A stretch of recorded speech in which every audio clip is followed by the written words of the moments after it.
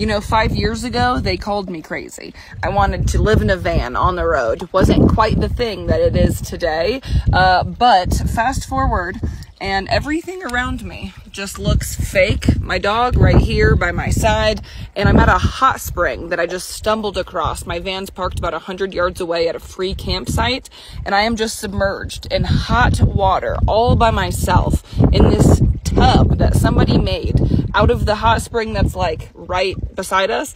And so now I'm just in natural water, piping hot, hot tub for free. Jokes on them.